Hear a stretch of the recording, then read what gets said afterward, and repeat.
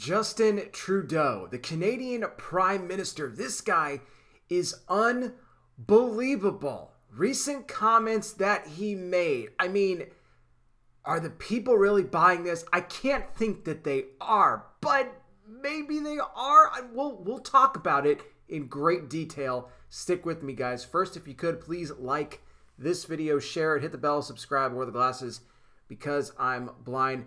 So everything that we've seen in Canada over the course of the past couple of weeks, the Freedom Convoy, the truckers, everything, all they wanted to do was to bring attention to the fact that they wanted these mandates to end everything with the virus. Now, I said before that this whole protest was ultimately going to fail.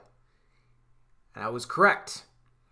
And well, what followed from that was not even something that that really that I saw was going to go to the extent that it did, and that is when Justin Trudeau had enacted the Emergencies Act, which had never been used before. And this basically gave him the power to be a full blown tyrant. Martial law.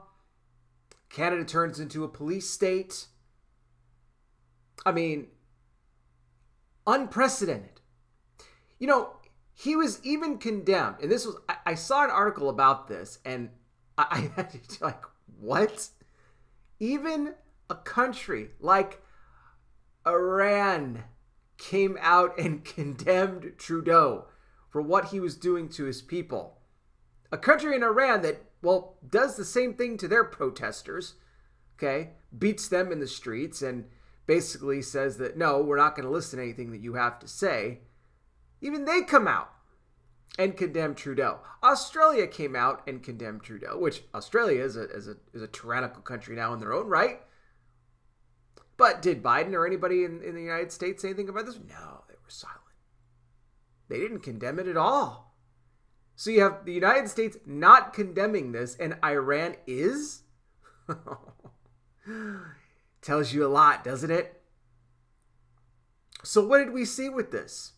We saw the accounts of the protesters, the bank accounts being frozen. Justin Trudeau denied, you know, these protesters the ability to, uh, to uh, you know, receive bail, get themselves out of prison. They were trampled in the streets by horses, pulled from their vehicles, had their windows smashed in these trucks, police pulling the drivers out of the cars. They had, at one point, they threatened to euthanize their pets. Any trucker, any protester that was arrested for their mischievous acts, and if there was a pet left behind, well, then the Canadian government had every right to then take your pet and euthanize it. but then, the comments made by Trudeau just the other day comical yet sad. And I saw this. I mean, I got fired up when I saw this. And I, I'll go into it in just a second, guys. First, let me mention if you guys are able to make a generous donation here to my ministry, to help support what I do. I greatly appreciate that. I'm demonetized on YouTube. They don't support me, but you guys can help out in a major way if you enjoy the daily content I put out talking about end time Bible prophecy headlines and you want to send a message to YouTube saying, you know what, you may not support what he does, but we enjoy his content, you can help me out over on PayPal. I have that link for you down below. Or you can sign up on Patreon. When you do that, you get access to my bonus content. Plus, I include the links to the YouTube videos there so you get all the alerts when the new content arrives. You can also comment there, censorship free, semi direct messages. These videos, guys, also go out on my Rumble platform. So check that out. It also kind of serves as a backup in case I get the boot from YT. So all those links are down below for you. A big thank you to everybody already contributing and those thinking of doing so. Thank you as well. Your generosity is greatly appreciated. Now, after all the blockades were cleared, and you know, it was funny because it was on Monday that Parliament had actually voted to extend the Emergencies Act. Trudeau said at the time that it was still needed because he had heard murmurings of other pockets of, of truckers that were, you know, supposedly going to be, you know, invoking more of these blockades around the border area between Canada and the United States. So he thought that it most definitely needed to be remaining in place. And let's also not forget all the names that he called these protesters, okay? horrible names. Of course, called them, you know, I'm not even going to get. I'm not even going to. He calls them, you know, the, the N word, not that N word, but the other N word. Uh, you know, called them racists and all this other stuff. You know, the usual words that we hear. Even his own parliament said that if they did not vote alongside of him to extend this, well, then they were the same thing as all those protesters were. Okay.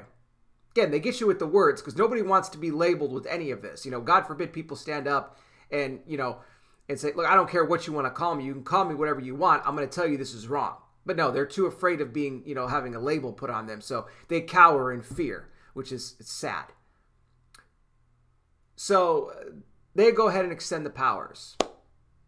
But then that lasts for two days. By Wednesday, Trudeau says, okay, we can uh, we can lift this now. We don't need the Emergencies Act in place any longer. After we've already done all this damage to all of our people, treated them like dogs, beat them in the streets, froze their bank accounts, denied them bail, just basically threatened them with arrest if they were even on the streets of Ottawa. No. Now, Trudeau comes out and he gives this he gives this message to the country. Says that it's been a rough two years for Canada. Which, by the way, I'll put this clip for you down below and you can check it out. It's been a rough two years for Canada. A lot has happened, and we need to focus now on healing. And this is the line that got me. We have to remember, Trudeau said, that we're fighting a virus, not each other. And it's time that Canadians start to be there for one another.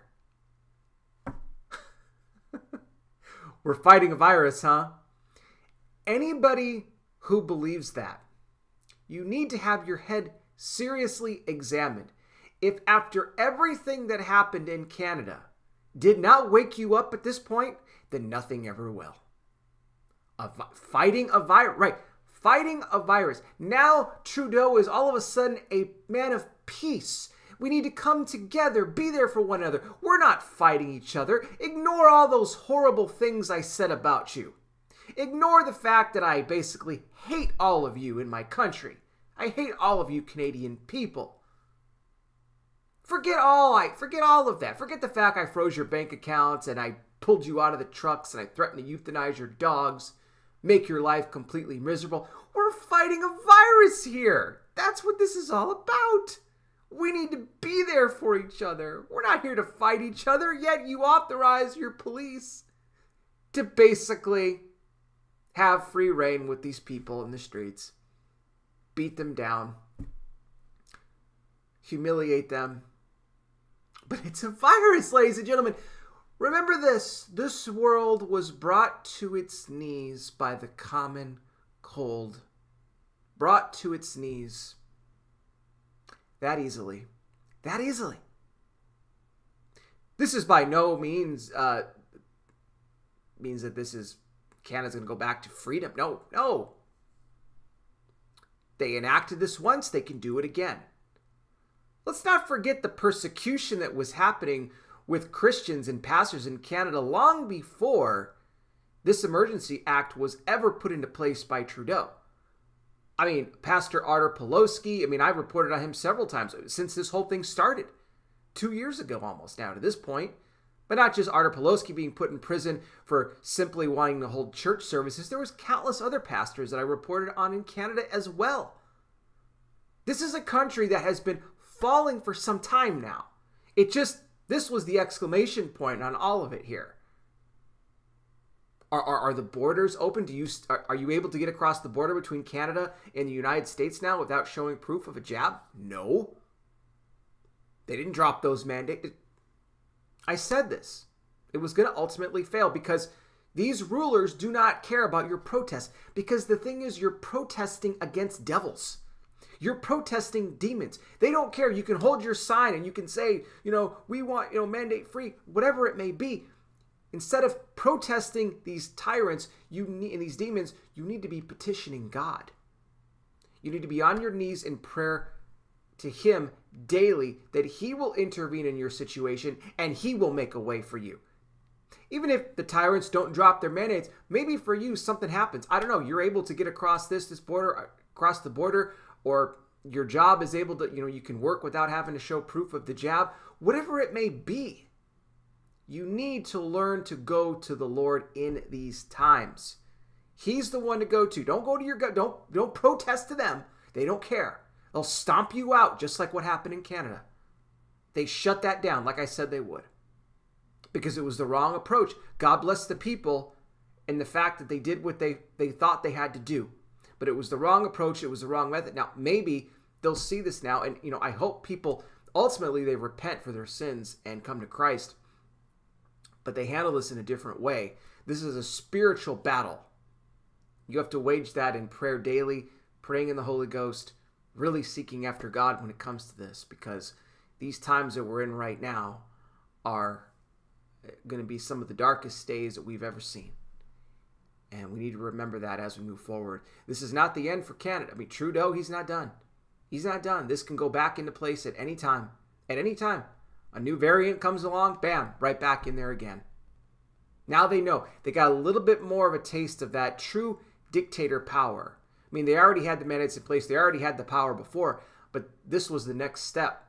They leveled up and they liked it. So just keep that in mind. Look, we never want to end any video here without giving people the opportunity to receive Jesus as their Lord and Savior. So if that's you, if you're watching this video right now and you've yet to receive Christ into your life, I want to lead you in a prayer right now to get you to do just that. This is a prayer you can do in your own words, but I'll give you the steps that you need to bring it before the Lord today. First thing that you want to do right off the top, acknowledge that you're a sinner. It's something that we all are, but God gave his only son, Jesus Christ, to die on that cross for the sins of all the world. He died and rose again for you and me. He paid the cost. What you have to do is repent of your sin.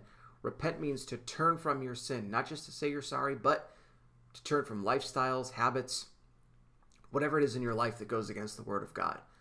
You ask Jesus to forgive you, he wipes that sin away. Bible says he doesn't remember it any longer. And then you invite Jesus into your life to be your Lord and Savior. When you do that, you become born again, a child of God. You will have eternal life. Trust me when I tell you there is no greater decision that you will ever make than the one you do to give your life to Christ. I pray you make that decision today. I'll have more on this for you guys down below. You can let me know your thoughts. Don't forget the links to donate to our ministry are there as well. It is a great blessing if you could help us out. Thank you all so much for watching. I really do appreciate it. I'll be back with more. You guys take care. Please be safe out there. God bless each and every single one of you. And I'll talk with you soon.